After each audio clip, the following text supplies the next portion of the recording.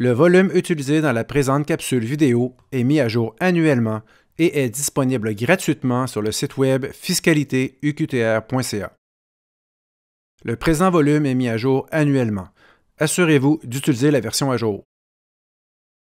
La présente capsule vidéo porte sur les éléments déductibles dans le calcul du revenu imposable.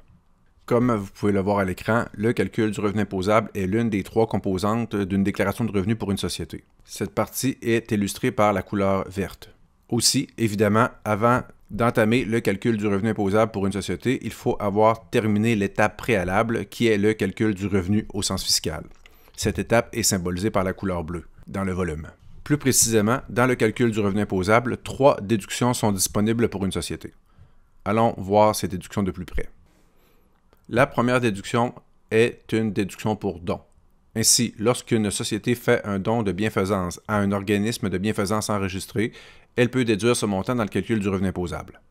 On peut faire un parallèle avec euh, la mesure équivalente dans le calcul de l'impôt des particuliers qui est un crédit d'impôt personnel, le crédit d'impôt pour don qui est accordé à un particulier qui fait un don.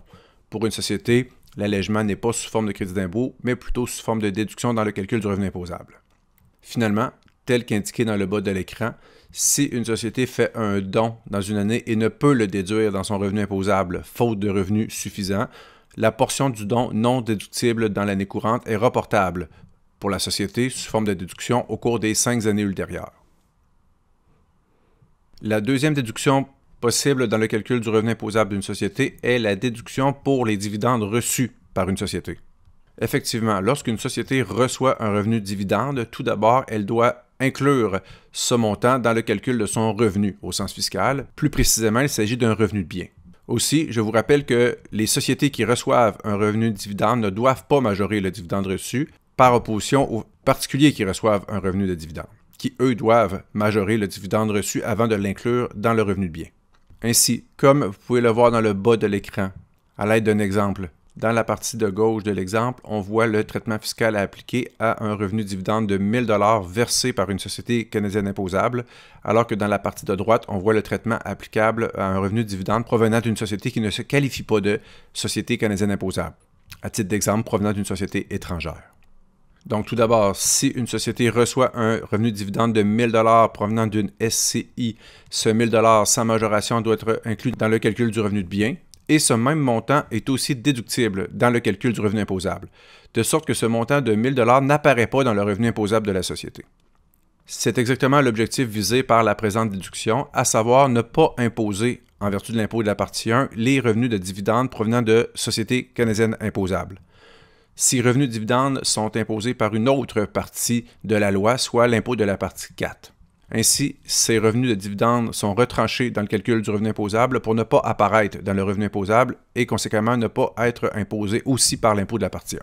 Essentiellement, l'impôt de la partie 1 a comme rôle d'imposer les revenus d'entreprise et les revenus de placement, alors que l'impôt de la partie 4 a spécifiquement comme rôle d'imposer les revenus de dividendes provenant de SCI.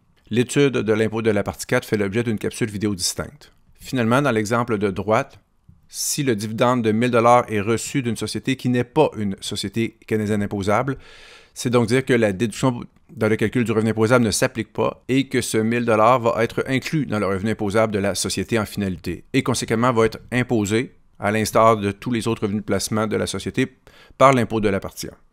Finalement, la dernière déduction possible dans le calcul du revenu imposable est l'utilisation des pertes d'autres années. À l'instar des particuliers qui réalisent des pertes dans une année donnée et qui ne peuvent déduire ces pertes dans l'année où elle a été réalisée, le montant des pertes se dirige dans une banque et est reportable sur plusieurs années afin de pouvoir être déduit dans une autre année. Il existe essentiellement quatre banques de pertes, les plus fréquentes étant l'utilisation des pertes en capital net, qui, comme son nom l'indique, comporte des pertes en capital réalisées mais non encore déduites, ainsi que les pertes autres qu'une perte en capital, qui comprennent toutes les autres natures de pertes. Ainsi, le fonctionnement des banques de pertes est identique pour une société que pour un particulier. Si vous souhaitez revoir le fonctionnement des banques de pertes, je vous réfère à une capsule vidéo distincte portant sur le tome 1 du volume, sujet 6.